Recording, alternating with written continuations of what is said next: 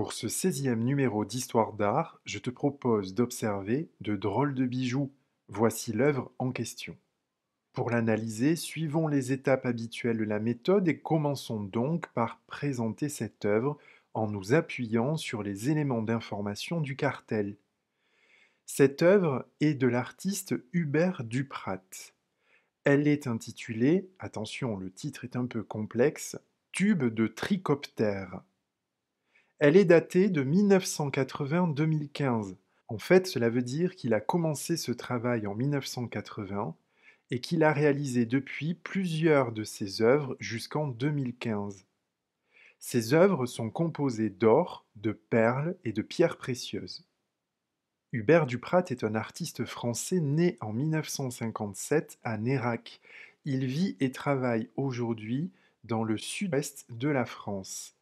C'est un artiste contemporain, observe sur la frise chronologique où se situe la date 2020 et son travail de 1980 à 2015 relève donc bien de notre période.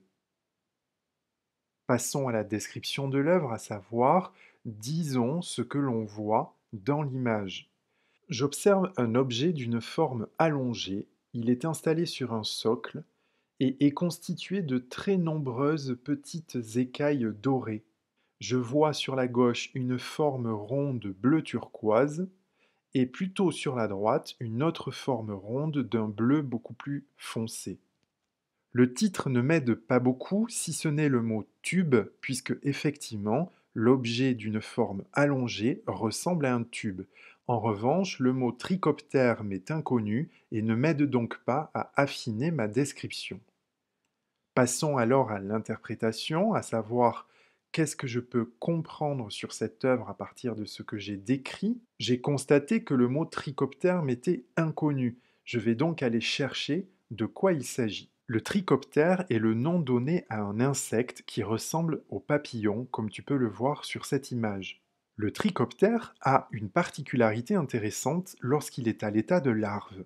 La larve, c'est le tout premier stade de développement de l'insecte lorsqu'il sort de l'œuf et avant qu'il ne se métamorphose. La larve du trichoptère, donc, se développe et vit dans les rivières et les petits ruisseaux. Elle a une forme très allongée et, et très fragile. Pour se protéger, elle va rassembler plein de petits morceaux de bois, de feuilles mortes, de gravier, de sable, tout ce qu'elle trouve dans son milieu naturel pour se confectionner un tube.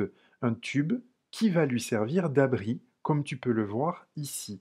Voilà donc la particularité de la larve du trichoptère. Revenons à notre œuvre et à notre artiste. Hubert Duprat s'est effectivement posé la question.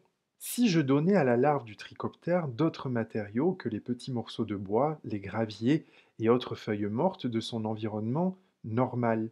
Si je lui donnais par exemple de tout petits morceaux d'or, cela s'appelle des paillettes d'or. Si j'ajoutais aux paillettes d'or de petites pierres précieuses, eh bien, est-ce que cette larve ferait encore la même chose, c'est-à-dire construire son étui, construire son tube qui lui sert d'abri?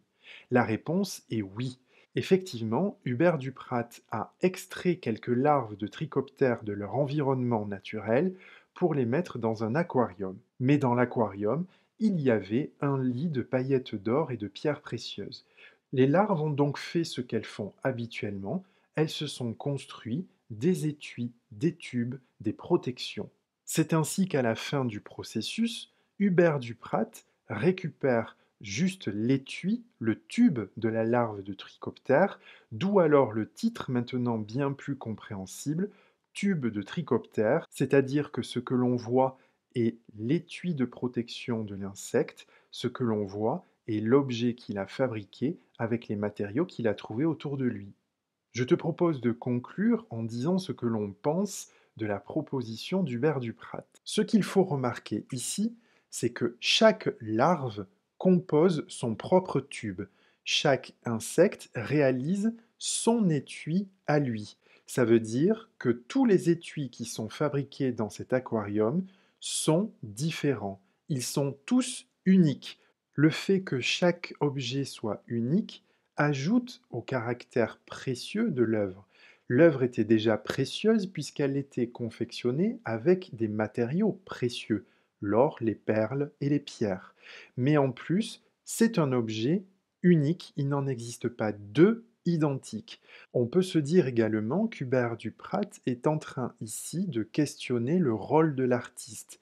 Lui, en tant qu'artiste, qu'a-t-il réalisé dans cette œuvre? Est-ce lui l'auteur de l'œuvre que tu vois ici ou est-ce la larve de trichoptère Voilà la question la plus intéressante.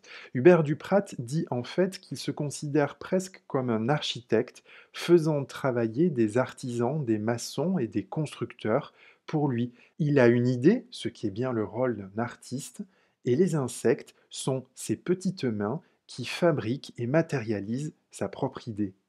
Voilà donc les drôles de bijoux que je voulais te proposer pour ce numéro d'Histoire d'art. Je te dis à bientôt pour une nouvelle découverte.